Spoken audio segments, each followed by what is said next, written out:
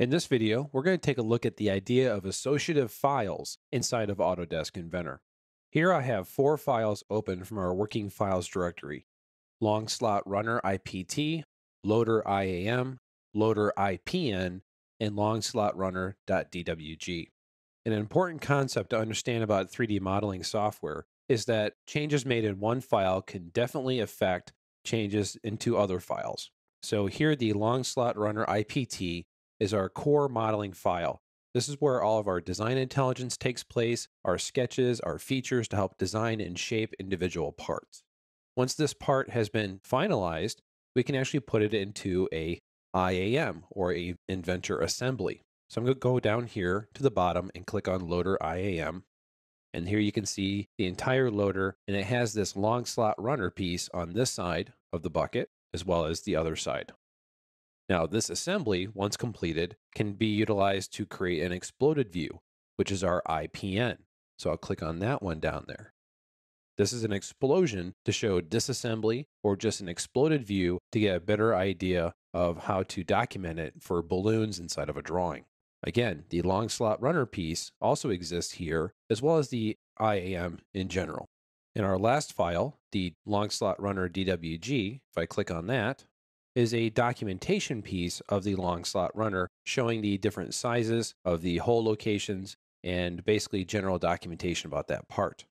Now, it's an important concept to understand that the long slot runner IPT that's been utilized in these other files is not copied into those files. It is not a unique instance of the long slot runner as it gets put into those files. It is essentially a hyperlinked file so that as the long slot runner IPT updates, so does the loader IAM, the loader IPN, and this drawing file.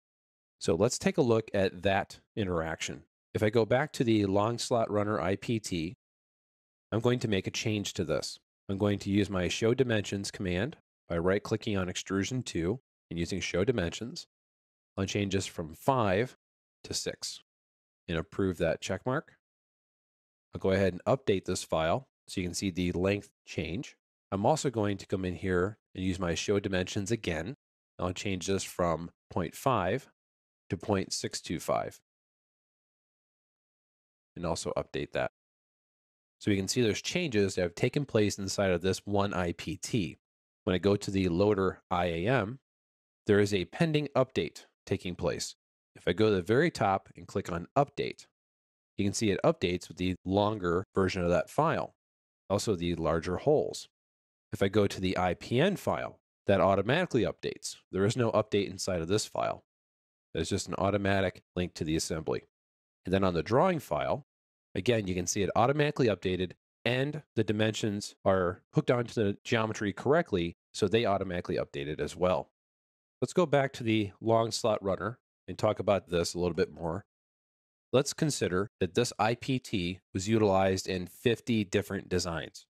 So I can basically make a change to 50 different assemblies, to IPN files that might be created and other documentation pieces all at once by changing the one IPT.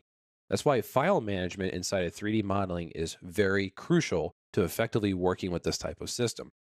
Understanding your relationships and your associative files and how things are linked together can become a very effective way to create your designs for market. Conversely, if I didn't have this sort of functionality, if I had to update 50 separate drawing files, 50 separate presentation files, it would take a very long time to do so. And I would have a lot longer time in design and overhead before I ever got my product finished or any updates to those products.